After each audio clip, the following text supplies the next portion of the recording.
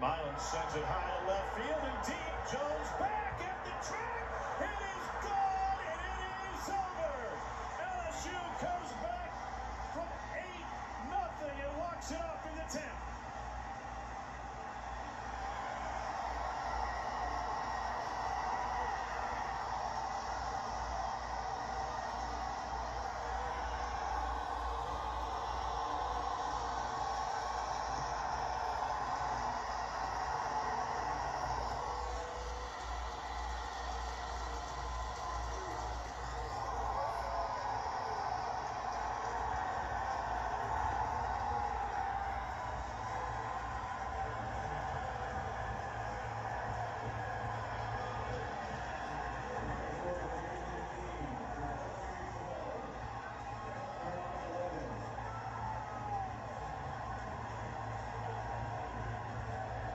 Steven Milam is not an opposing figure at the plate, but his nickname is Monster.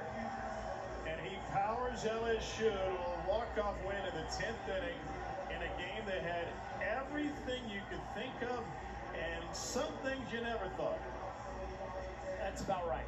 Yep. that feels just about right. One more unexpected moment in this ball game. Monster Milam gets a heater up in the zone and let it rip, young man. A two-run walk-off to cap off one of the most bizarre moments we have seen in a long time. And a launch piece into left center field is an exclamation point on a classic game.